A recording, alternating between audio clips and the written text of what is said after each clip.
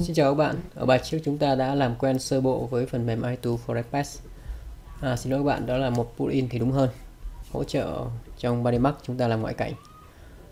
Bài trước thì mình cũng đã giới thiệu sơ qua rồi, bài này chúng ta sẽ đi sâu một chút xíu để chúng ta cùng nhau làm chủ nhiều hơn những chức năng trong phần mềm này. Ở bài này mình sẽ hướng dẫn các bạn chọn Custom Object, tức là chúng ta sẽ đưa những đối tượng cây cối mà chúng ta có sẵn vào trong cái hoạt cảnh chúng ta chứ không sử dụng thư viện nữa. Thì cái này có một điểm hay là chúng ta sẽ chủ động hơn. Giả sử như các bạn thích một cái model, cái vôn nào đó, một cây đẹp, chúng ta có thể proxy lại cho nhẹ, rồi bắt đầu chúng ta cho vào. Kết hợp thì nó sẽ hay hơn và theo ý của mình được hơn. Còn thư viện thì có sẵn nhưng mà cũng chỉ một cái mẫu nào đó mà thôi.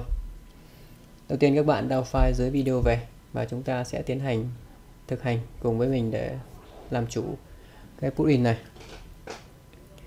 Bây giờ mình sẽ hướng dẫn các bạn custom object, tức là mình sẽ đưa những đối tượng mà chúng ta đã tùy chọn sẵn, dự định, dự kiến cho vào cái khung cảnh của chúng ta để làm ngoại cảnh. Các bạn chú ý ô cửa bên tay trái này. Chúng ta đã có những đối tượng policy sẵn rồi. Mục đích của chúng ta policy này cho nó nhẹ đi. Còn nếu như các bạn máy đủ mạnh thì chúng ta cứ để nguyên cây lá cũng được. Nhưng mà trong quá trình chúng ta sẽ di chuyển thì các đồ họa sẽ tải nhiều hơn và chúng ta sẽ làm chậm với quá trình chúng ta làm việc lại. Nào, bây giờ chúng ta sẽ cùng nhau vào việc. Nhưng trước khi chúng ta thực hành với Forest, các bạn chú ý, tôi sẽ về mặt FZ, tức là mặt phần đó.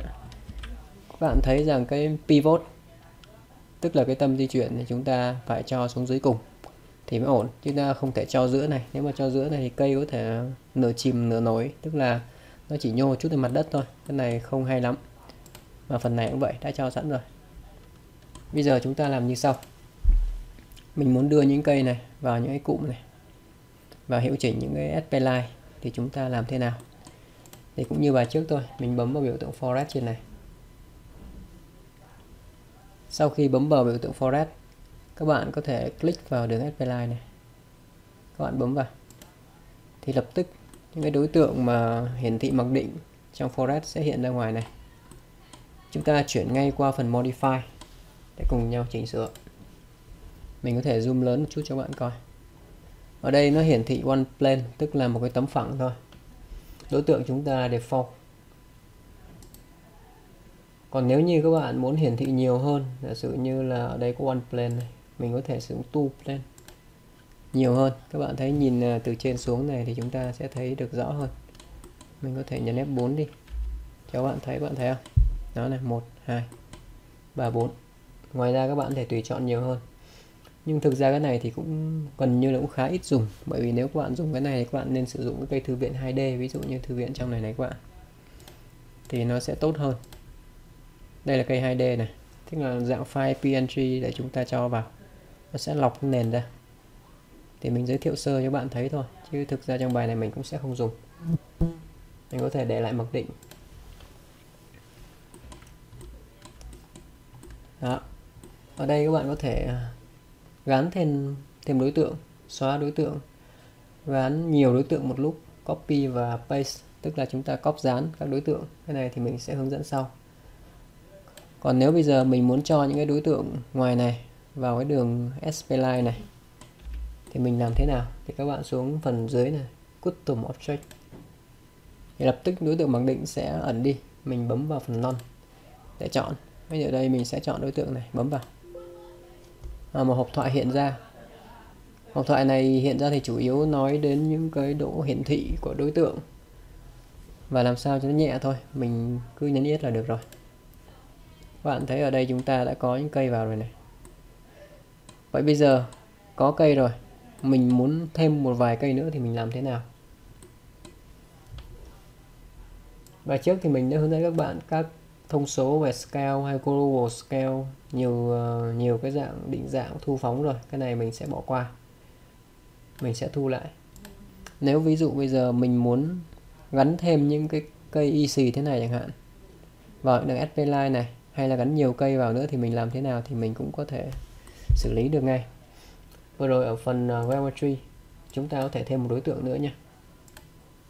Thêm một hoặc nhiều mình thêm sau đó mình cũng xuống dưới này mình không dùng cái định dạng có sẵn mình bấm vào custom object cũng nhấn non tiếp bây giờ mình bấm trực tiếp vào đây.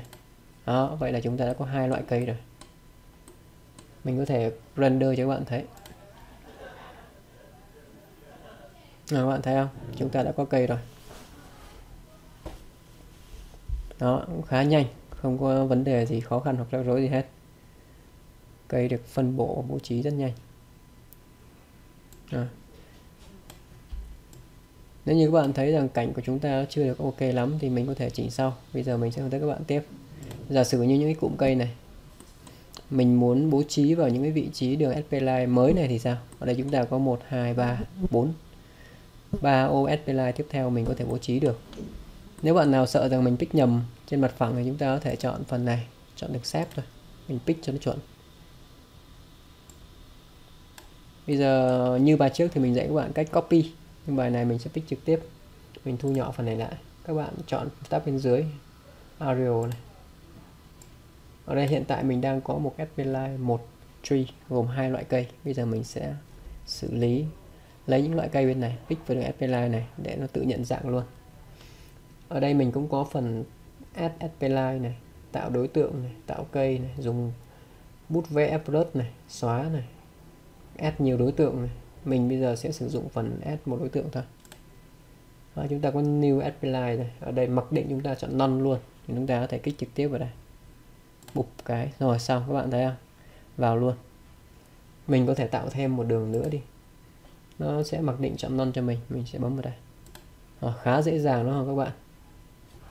Đương nhiên các bạn có thể di chuyển đường SP line này. Mình chọn đường SP line mình di chuyển này. Thì cây sẽ chạy theo luôn nhé. Cái này rất là hay bài trước mình cũng có đề cập. Nhưng mà bài này thì có vẻ như là nó sẽ trực quan hơn. Mình cần chọn rét lại. Các bạn có thể nâng chiều cao lên. Cây sẽ cao lên. Tức là nó sẽ chạy theo đường FP line mặc định của chúng ta. Các bạn cũng có thể thêm bớt đối tượng nữa cũng được, không sao.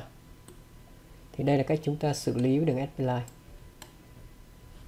Còn nếu mà muốn chọn vào lại đối tượng chúng ta chỉnh sửa forest thì các bạn cứ chọn vào đối tượng forest của chúng ta thôi vừa rồi mình đã chọn sáp bây giờ mình sẽ chọn lại phần ôn đi, chọn cho dễ. Đó. Thì format bây giờ mình sẽ chọn thêm hiệu chỉnh được, chúng ta sẽ xóa được. Nếu như ở đây mình chọn include, tức là đối tượng của chúng ta sẽ được phân bổ cây cối vào, nếu chúng ta chọn exclude, thì lập tức đối tượng cây cối của chúng ta đã bị biến mất. Rồi, chính là mình vừa là vừa chọn cái này này bây giờ nếu như mình di chuyển này vào vị trí trong này này, bạn thấy không? Những vị trí nào mà đường SP line di chuyển vào thì lập tức cây cối sẽ biến mất. Tức là forest patch cho chúng ta một sự lựa chọn. Lựa chọn là bao gồm cây ở trong đường SP line hay là sử dụng đường SP line này để loại trừ các cái vùng cây.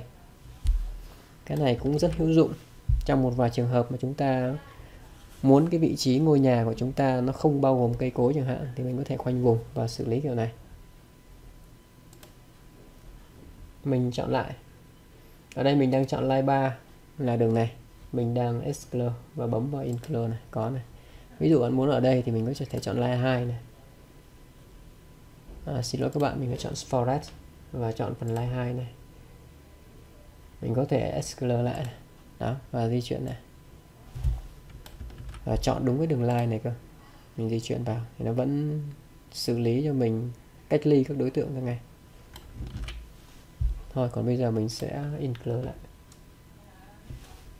Ở hai. Rồi ok. Bây giờ mình sẽ render lại phối cảnh này. Xích quy lại, để xem xem bố trí đã tương đối hợp lý chưa. Ngoài ra trong bảng bên đây này bạn thấy cảnh chưa thật thì mình có thể bật bảng này lên. Hiệu chỉnh ánh sáng. Mình thấy bảng này cũng khá hay. Các bạn có thể chọn phần color balance này để chúng ta hiệu chỉnh sao cho màu sắc nó ok nhất. Bởi vì đây chúng ta thấy màu nó cũng chưa hợp lý lắm. Các bạn có thể chuyển kênh màu. Hay giật à, chút này, chiều tút này hay ngã vàng vàng một chút hay sau đó cho nó hợp lý hơn. Đó, ok. Ở video tiếp theo thì mình sẽ hướng dẫn các bạn cách hiệu chỉnh các đối tượng còn lại à, cây cối bố trí sẽ tốt hơn một chút để chuyên sâu một chút. Từng bài một mỗi bài thì chúng ta sẽ học những cái chức năng khác nhau của Forest Pack. Thì tổng kết lại sau khi các bạn à, học hết những video thì các bạn sẽ có những phần à, kiến thức vững vàng để chúng ta sử dụng. Plugin này thì ở bài này chúng ta học cách chúng ta add thêm đối tượng add line include exclude còn bài trước thì mình cũng đã dạy sơ bộ các cái phần mà scale đối tượng. Thì mình sẽ hẹn gặp lại các bạn ở bài tiếp theo để chúng ta cùng nhau khám phá những điều hay hơn về Forest.